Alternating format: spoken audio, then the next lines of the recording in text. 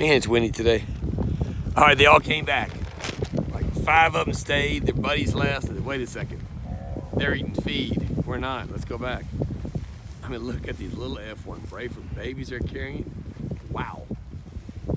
I know if y'all guys that don't know what those calves are, I'm gonna tell you what they are. In the fall, those heifers are a $1,600 bill. Three years ago, they were a $2,000 bill, so who knows?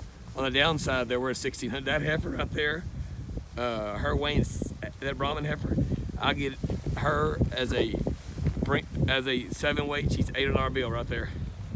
I know, 800, I mean 1800 bill.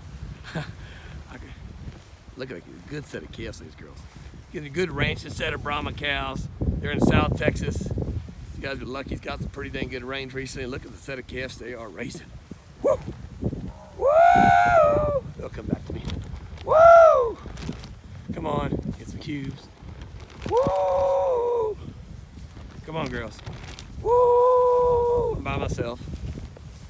Woo! Oh, look at those. Like, uh-huh. Check us out, they say.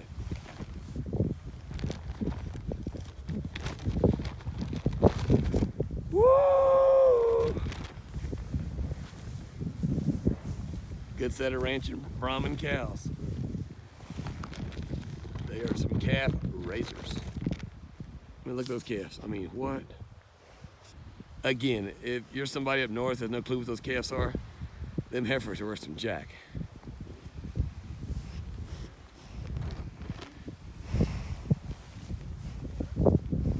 that heifer out there, when she's weaned another few months, weighing 758, I'll get 1800 for her.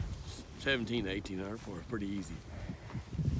Home cooking, boys and girls, home cooking. What seeds, what you get.